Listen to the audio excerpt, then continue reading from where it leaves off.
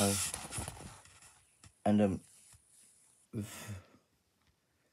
Taiwan and trade, I would support America starting it for sure. And I would encourage any country to trade with Taiwan. And if Taiwan is afraid of espionage, if China dare that, they'll regret it for sure.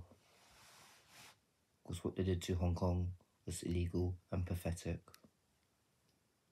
And Hong Kong should be its own independent, democratic, individual nation. And Taiwan should stay as that. So let's support Taiwan to be independent and individual and its own prosperous self. Cheers.